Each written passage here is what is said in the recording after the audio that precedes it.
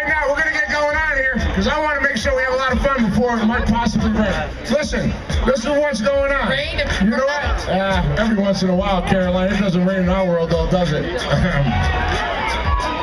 Listen, this is what we're gonna do. You know, I've been pretty blessed a year and a half being in Southwest Florida, and I've been pretty blessed to partner up with two major radio groups in the Southwest market.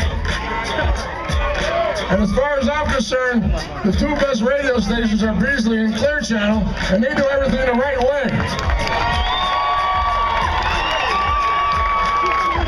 So I'm going to introduce to you a very popular show in the morning.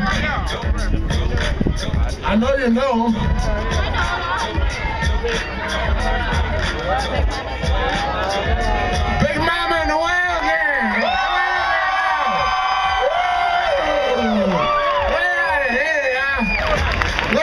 This is unusual. I get to, I get to introduce them rather than them introduce me. I know, it's usually the other way around.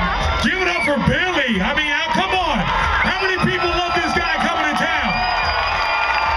This guy just came to town and is giving away a quarter of a million dollars right here today.